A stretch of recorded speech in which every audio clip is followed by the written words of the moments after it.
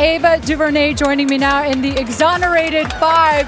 Gentlemen, how are you? So good to see you. Korey Wise, Raymond Santana, Kevin Richardson, Yusef Salaam, and Antron McCray. Very good. So, oh my God. So nice to see you.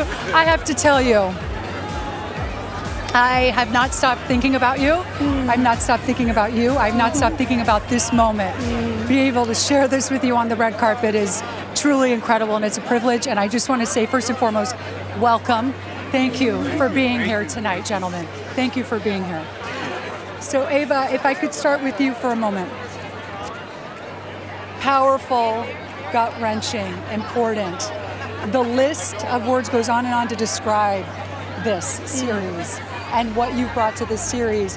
And I read that it was actually Raymond who had reached out, right? Yes. In a very modern way, right? Very the way we do it these days. Tell us the story. This story started with Raymond Santana hitting me up on Twitter, That's right. and it was we were just looking at the tweet in the car, and it was an outreach from someone saying consider telling our story. And I get a lot of those, but I had known about these brothers' case. Um, I was uh, a teenager in Compton where they were teenagers in Harlem going through what they were going through, so I felt connected. I met Raymond. He introduced me to all the rest of the brothers. I remember the first day I met each of you. Cuts to four years later, and now we're here in Tuxedo. I mean, what's it's crazy. What's that, what is that like, gentlemen? I mean, feels great. being here tonight, but also having the real story, the true story put out there for the world to see, and the world has embraced it. The world is seeing it. It was a blessing. It's a blessing. And it was all a dream. It took to, to become a reality. That's right. Yusef, I want to ask you because you said um, that it wasn't until you watched the series that you saw what Korey had been through. Because for those of you who haven't seen it yet, first of all, see it. See it.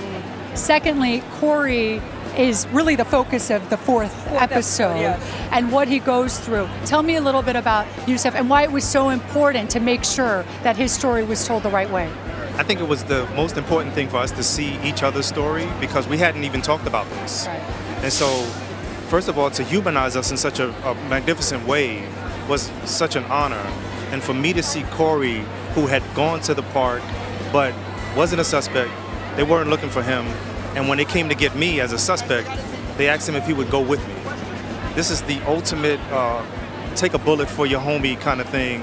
And I was just so grateful to see that because I didn't know. We never spoke about what our experiences were like. And this was the, really the first time after numerous, almost a decade, I believe, for us to have seen each other's stories and to really vibrate with it on a different level. And now the whole world got an opportunity to see it, and it's just an honor. and to feel the I really hope you're feeling all the love Oh, yes. from the world. Even being here tonight, Antron, being here tonight, I got to tell you, a lot of celebrities here. Everyone wants to meet you. Everyone wants to meet you all. How does that feel, Antron? It's overwhelming. It really is. I'm trying to take it in. It's great. Good job. You, uh, Well, take it in. Enjoy every moment of it. You deserve it. We love you, Ava. You are brilliant. You are brilliant. It is an Thank you. honor. thank An honor. Thank you Honor. Honor, gentlemen. Honor.